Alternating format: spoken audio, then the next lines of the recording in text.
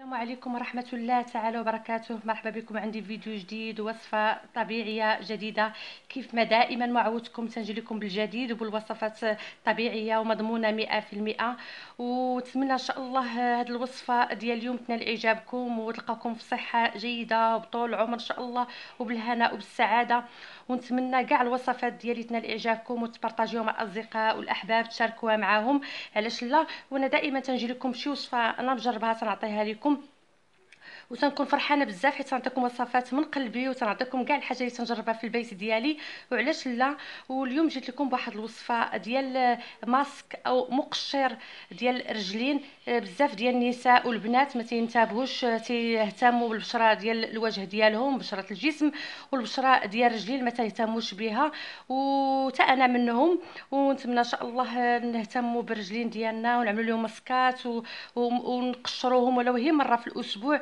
ورجلين راه هما المهمين وتعطيو واحد النظرة للجمال المراه ونتمنى الوصفات كلهم اللي عطيتها لكم تستعملوها والوصفة ديال اليوم كذلك تستعملوها. راني جربتها وعطاتني ديك النتيجة رائعة وعجبتني الوصفة وقلت لا علاش اللي ما نشاركهاش معكم وهاد الوصفة راه في نفس الوقت مقشرة ومبيضة وتتحيد لنا ديك الحكة والصبانة اللي تتكون بالأصابع ورائعة وتعطيك ديك النتيجة في أول استعمال. رجلين تبارك الله تي تي تيحيد داك القشور.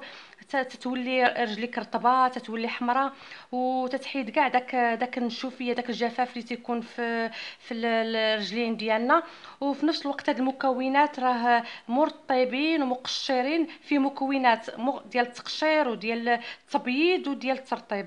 رائعة وتصلح حتى للحكه بالأصابع والصبانات تكون الناس تتاكلهم رجليهم.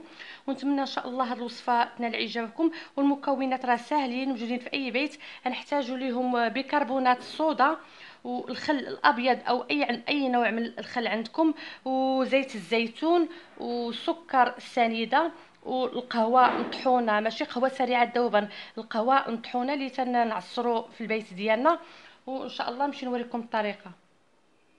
أنا عطيت تقريبا هنايا جوج معالق قياس هاد اي أي قياس عندكم ديال المعالق تاخذوا نفس العبار ديال القهوة مع بيكربونات الصودا. هنا تقريبا درت جوج معالق جوج معالق ديال البيكربونات جوج معالق ديال القهوة مطحونة.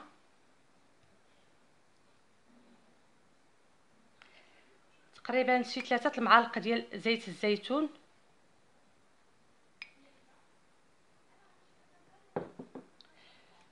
نحركو باش نزيدو عليه الخل. نديرو قياس الخل هو اللي غيجمع لنا هاد هاد الوصفة. باش يتجانسوا كاع دوك المكونات.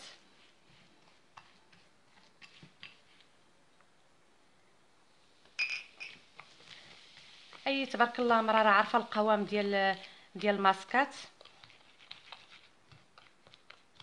هذا القياس اللي عطيتكم راه يمكن تسعبلو تسعبلو رجليكم بجوج.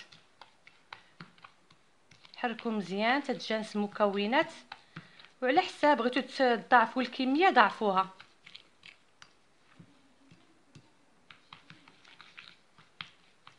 صافي نحركوه مزيان؟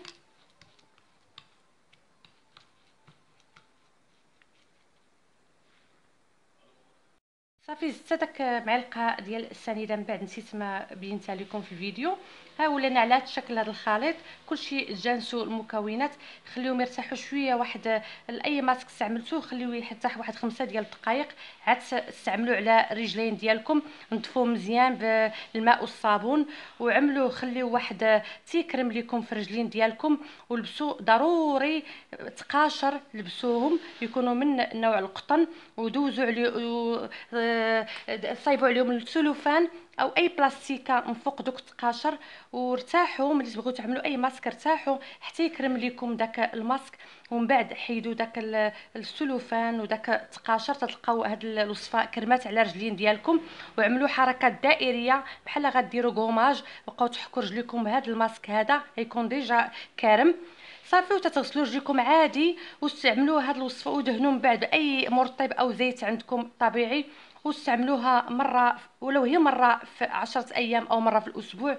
وتصديق النتيجة غزالة راه أول استعمال غتشوف أول استعمال هذا الماسك غتشوفوا رجليكم كيوليو تبارك الله. حتى داك التقشر ما يبقاش فيهم. تيداولنا في نفس الوقت داك الحكه ديال بالاصابع آه، مقشر ليه فوائد كثيرة وشو المكونات راه لهم فوائد كثيرة على البشرة ديال الرجلين ديالنا. رائعة هذه الوصفة يستعملوها. نتمنى إن شاء الله هاد الوصفه ديال اليوم أو هذا الفيديو تبارطاجيوه مع الأصدقاء. أي حاجة عطيتها لكم نتمنى إن شاء الله آه، تستافدوا منها وتستافدوا منها غيركم والأصدقاء ديالكم. ومازال إن شاء الله نعطيكم وصفات طبيعية كثيرة ونشارك معكم أي حاجة زوينة صايبتها في البيت ديالي ونخليكم على خير. في فيديو آخر وصفة طبيعية أخرى بحول الله.